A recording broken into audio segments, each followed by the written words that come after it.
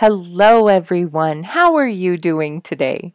It's Aunt Nikki of Your Story Hour, and it's time to read more in our book, The Mallards and Their Neighbors by Neil Wayne Northey. So let's see what's going on. Chapter 25 The Mallards are caught.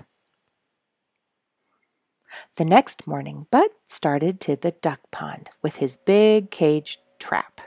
Besides the trap, he carried a long piece of stout cord, such as Farmer Smith used for binding the golden yellow grain into bundles. He also took along a large po- pocket full of corn and the mysterious package that had arrived through the mail. I am going with you, announced Mary as Bud started across the green meadow.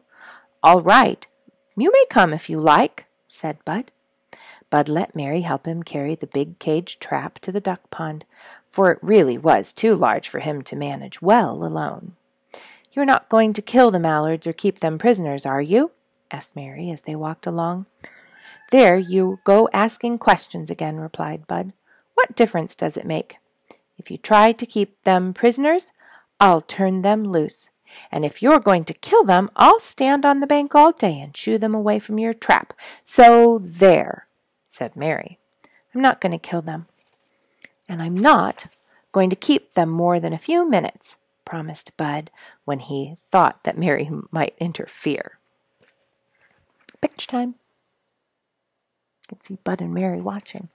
And it says, It was the place where the mallards always came out on the bank when they were tired of swimming.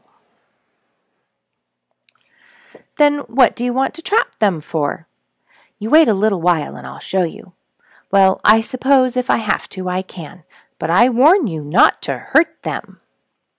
Bud and Mary carried the big cage trap to the place by the marshy bank of the duck pond where they had often seen the mallards sunning themselves. It was the place where the mallards always came out on the bank when they were tired of swimming. That is, if a duck ever gets tired of such sport. When the big cage trap was placed where Bud wanted it, he cut a short stick and propped up one side high enough so the mallards could walk under it. He tied one end of his long string to the top of the prop and unwound the rest of it until it reached to a large clump of tumbled bulrushes.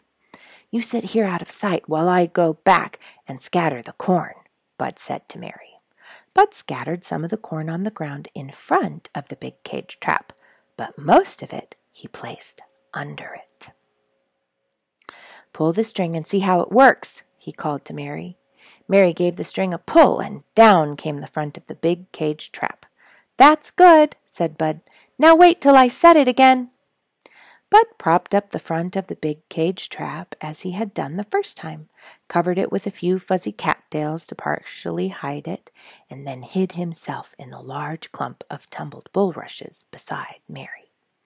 I guess the mallards must be over in the sheltered little cove, said Bud, but they'll be back here before long. I hope they come soon, said Mary. Bud cut a few fuzzy cattails and stuck them around to fill some openings in the tumbled bulrushes. He was afraid the sharp eyes of the mallards might look through the openings and see Mary and him. Then he put some over the top so the mallards could not see them if they flew over. After a while, Mary grew tired of waiting. I wish they would hurry, she said. Bud and Mary had not been waiting long, but it seemed like a long time to Mary. Suddenly, Mary pointed across the duck pond. Oh, look! There they come! Psst! whispered Bud. Not so loud. Keep down, or they will see you. Don't try to watch them, or you will scare them away. I'll do the watching. I want to see them, said Mary. Here, stick some of the swamp grass into your hair. That will help to hide it, said Bud, and he put a few pieces in his cap. On came the mallards. When they were near shore, they stopped to play tip up and dive a while. Mary's heart was jumping, and once she almost caused Bud to pull the string. Some of the mallards were swimming near to shore. Quiet down before you spoil everything, whispered Bud. You are shaking as if you were cold. Can't help it, said Mary. I'm afraid they won't go under. Of course, the mallards had no idea that Bud had set a big cage trap for them. They thought everything looked the same as when they had left. They were not looking closely because they were so used to finding everything the same when they came back to sit on the marshy bank. At last Mrs. Mallard walked up the bank. She noticed a few grains of corn lying there, and she ate them. A little further she saw some more, and she walked over and ate them. Quack, quack, quack, quack, quack, said Mrs. Mallard. Look at all the corn I have found. Didn't take the rest of the mallards long to scramble out of the water and up the bank, and soon all of them were scooping up corn with their broad bills. Bud gave the string a quick pull, and down came the big cage trap. Oh, goody, said Mary. We caught every one. Say, that was lucky, said Bud. I didn't expect to get more than half of them the first time. Go easy, so not to frighten them until they get used to us. They might fly against the big cage trap and hurt themselves. I wonder what Mrs. Mallard is saying to her youngsters, said Mary. They must be terribly scared. Chapter 26 A New Experience for the Mallards. Of course, when the Mallards first learned that they were prisoners, they were frightened. They could not understand what had happened. Bud and Mary approached the big cage trap quietly so as not to alarm them. The Mallards ran into the small cage at the back, and Bud closed the door between. Well, now that you have them caught, what are you going to do with them? asked Mary. Band them, said Bud, as he took the mysterious package from his pocket. What do you mean? asked Mary. Bud opened the box. In it were a number of small aluminum bands with numbers on them. We'll put a band on a leg of each of them, and then we'll know if they come back to the duck pond next summer. How interesting, said Mary. So that is what you got from the government. Yes. You see, we must get a permit from the government before we can band birds. Then, when we put a band on a bird, we make out a card saying what kind of bird we put it on, where and when we banded it, and such things, and send it to Washington. These cards are kept on file, and if the birds are ever caught again, the government knows how far they are from the place where they were banded. Bud reached his hand into the cage and brought out one of the mallards. After a band had been put on its leg, Bud wrote the number of the band on a card and put the duck back into the big cage. Then he finished filling out the card with the information that he was wanted. One by one the mallards were banded in the same way and placed in a large cage until at last Bud came to Mr. Mallard himself. Oh, see here, exclaimed Bud. Mr. Mallard is already wearing a band. Now, where do you suppose he got it? We must send the number to Washington and find out. Let's see, it is 96,501. I'm anxious to find out where Mr. Mallard was before he came here. Bud wrote the na- number on a piece of paper and put Mr. Mallard in with the rest of his family. Then, after all of them had been banded, Bud raised the big cage trap, and away flew the mallards. Let us see if we can catch the spoonbills also, suggested Mary. I haven't any more corn with me, said Bud. But we can come back tomorrow and try it. We can leave the big cage trap hidden in the jungle thicket. Bud and Mary carried the big cage trap into the jungle thicket and then started back to the grand old house. How did you know about banding birds? asked Mary as they walked along.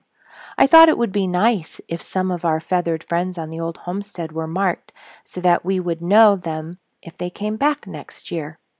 I that night after we saw the mallards playing sail, I asked Dad about it, and he said he would write to the Biological Survey for me.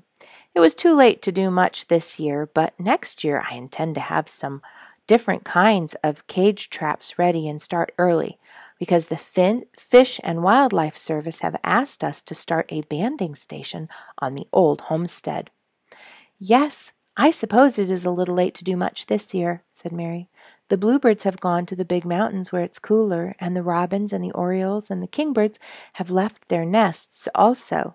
But it will be fun to band the spoonbills. I'm going to write to Washington and send the number of Mr. Mallard's band, said Bud, when they arrived at the grand old house. And this is what Bud wrote Dear Sirs, I received the bird bands that you sent to me, and today, when I was putting them on the mallards, I found that Mr. Mallard already had a band on his leg. It was number 96,501. I wondered where this was put on and when, and also who did it. I am going to try to band to put bands on the spoonbills tomorrow, and then I will send all the file cards to you which you sent. Next year, I want to put bands on lots of birds, but school starts next week, and you know how much time that leaves a fellow.